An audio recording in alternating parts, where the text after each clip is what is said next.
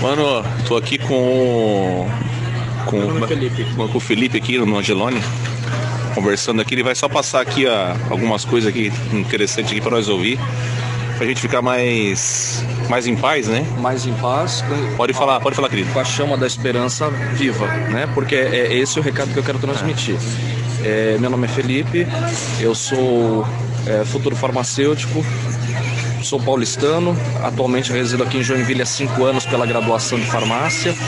Eu tenho um tio que é general, hoje do Exército Brasileiro, e tenho amigos dentro da ABIN, tá? que é a Agência de Inteligência Militar, é, e tenho um outro colega que é um pesquisador em física nuclear lá no Laboratório do Exército do Rio de Janeiro.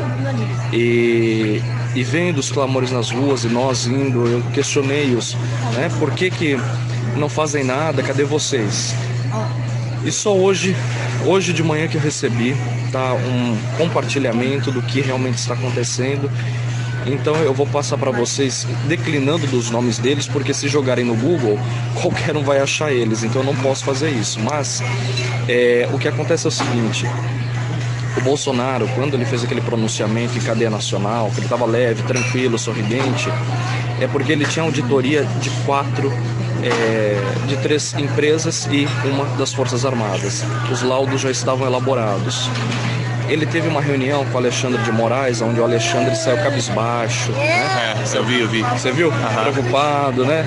Pensativo, porque o que, que aconteceu?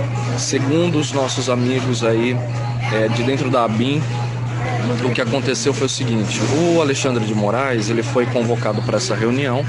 Chegando lá, o que aconteceu foi que o Bolsonaro ele achou que ia, o Bolsonaro ia é, baixar a cabeça, falar que aceitar derrota, e não sei o que. Não, não foi isso. O Bolsonaro estava com tudo impresso, os laudos, as pastas, botou na frente dele mandou ele ler porque, porque ali está, inclusive o vídeo dessa gravação de- dessa, dessa reunião, é, um amigo nosso lá da BIM tinha disponibilizado, mas a gente já né, não pode falar. Mas assim, o que eu posso garantir é que o cara se exaltou, o Alexandre se exaltou para cima do Bolsonaro, o Mourão mandou ele calar a boca, botou um, um- ele abaixo e foi dado o seguinte, que ou o Alexandre vem a público, tá?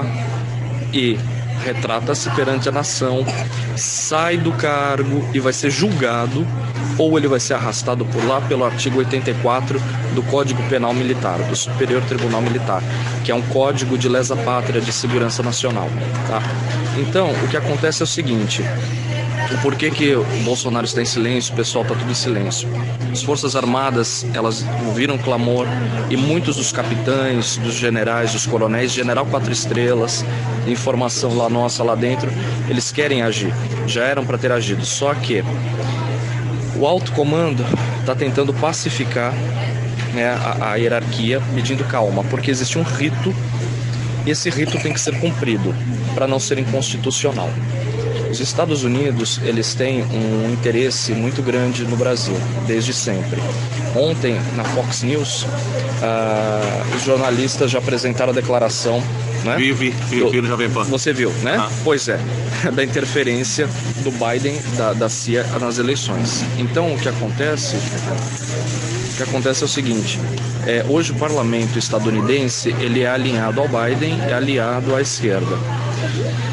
O que acontece é que por causa das eleições nos Estados Unidos, Amanhã vai ter a troca do parlamento. vai ter a troca do parlamento e com a troca do parlamento, o novo parlamento é alinhado à direita, é aliado ao Trump. No entanto que o Trump será indicado ali. E é aí que nós teremos moção internacional e apoio internacional. Porque se hoje for feita alguma coisa, é simplesmente porque nós, como nós fazemos parte da OEA, que é a Organização dos Estados Americanos, desordem cívica no nosso país, Washington dá uma canetada, lá é a sede da ONU, a sede da OEA, eles dão uma canetada e pode até inclusive haver uma incursão militar para o Brasil. Né? E isso não queremos, ninguém quer, porque é o povo quem vai pagar por isso. Então eles estão aguardando apenas essa mudança do parlamento para poder colocar o STM, que é o Superior Tribunal Militar, como poder moderador vai baixar o jurídico, vai baixar o STF, não me garantindo que todos vão cair do STF. Mas não, não são todos que. Não são todos. Alguns nomes já foram cogitados. STE também vai cair. E aí entra o STM como poder moderador para instituir lei e ordem e teremos sim aclamação de novas eleições e teremos sim a segunda-feira, inclusive, já é, pelo que o pessoal da BIM, da, da agência de inteligência, me disse, já é para segunda-feira sair o, o, relatório das Forças Armadas. A bomba, a bomba vai ser jogada. Aí o que, que a gente espera? Que o Alexandre de Moraes tenha a decência de vir a público. Hum entendeu? Esclarecer. Por enquanto ele tá, tá com o coração duro, né? Não, é, a gente espera que haja esse passo dele, porque se não houver, ele já foi avisado. Ele vai cair, só que ele vai ser arrastado de lá. Aí a situação vai ser outra. Então acho que ele vai, acho que ele vai a público, acho. Sim. É, pois é. Vai ser pior pra ele se não ir, né? Pois é. É, de qualquer jeito ele tá ferrado. Tá ferrado. E, e assim, é, essa. É, quando a gente desde o começo muita, muita notícia, muita especulação, muito áudiozinho que vai para lá, áudio que vem para cá. É, é, muita coisa. Sem, é, muita especulação, muita coisa. Eu não concordo. Porque é o, é o, exemplo, a metáfora que eu dou. É a mesma coisa que você tentar é, se segurar em uma corda que não está fixa em nenhum lugar. Você não pode ter uma réstia de esperança. Ou você tem a chama viva dentro de si, ou você não a tem. Agora, espalhar informação falsa, fake news, essas coisas, não é legal nem para um lado nem para o outro. Então, o que eu estou falando aqui é de alguém que é sobrinho de um general quatro estrelas, é de alguém que tem amigos dentro da ABIN uhum. e dentro do laboratório nuclear do Rio de Janeiro. Então, o que eu quero dizer é, eu também estava desesperançado até receber as notícias de hoje de lá de dentro. Uhum. Então, é, para algumas pessoas que eu estou encontrando assim, eu estou falando em momento algum. Para dar, dar uma isso, porque assim vocês compartilham. E, e dá esperança para as pessoas também, porque tem gente que na Isso. família, às vezes, que tá. Na família é. tá. Não, na minha, na, na, minha, na minha própria família, assim, tem pessoas também que, que, que, que, desa, que desanima, que. É, é, que parece que não vai, né? Que parece que não vai, parece que a gente está gritando ao vácuo. É. Né? Parece que é ao vácuo. Mas não há vácuo. Inclusive, o que mais me emocionou hoje na conversa foi que muitos deles já queriam ter agido por nós. Só não estão fazendo por respeito ainda à hierarquia, porque este rito está, já foi estabelecido. Estão aguardando apenas a transição de, de alternância de parlamento nos Estados Unidos para poder fazer essa moção. E tu vê até o, até o, o Lula também não, não, não, aparece também, né? Tá, tá sem aparecer também. Gente não sabe até que ponto é verdade que ele está internado, né? É, a, até onde? Tá, eu não sei se isso. É, não sei se é fácil. Não sei. Não sei isso é. eu não vou afirmar.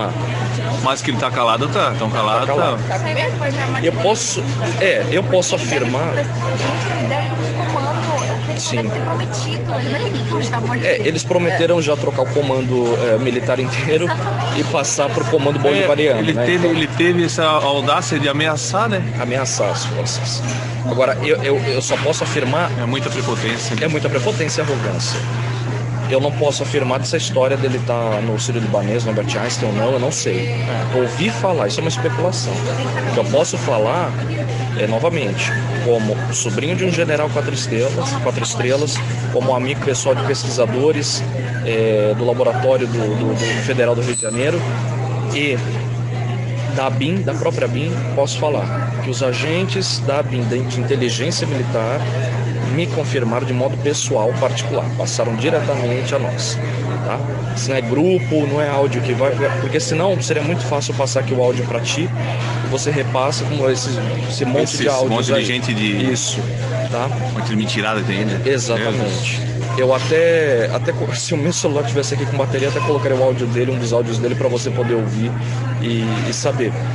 É um áudio longo de 8 minutos, um deles que explica mais detalhadamente o que está acontecendo nesse uhum. cenário interno, mas é, que eu estou sem, até sem bateria aqui no celular. Mas depois eu pego, pego o telefone, de repente. Pode, pode pegar, é, pode pegar, a gente conversa, ali. entendeu? Então é, é isso. Tá bom então. É, o, só o recado deles eles não pediram para eu falar isso para ninguém, mas o que eles deixaram para passar, eles falaram, olha, claro, passa informação. Passa informação e é muito importante que as pessoas estejam na rua, nas ruas.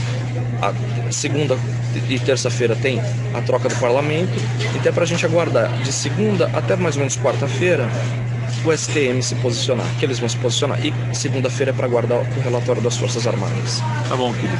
Tá. Então tá aí, pessoal, aí, ó, da família aí. Meu irmão passa os outros, pessoal aí da, da, do grupo aí também. Tá bom?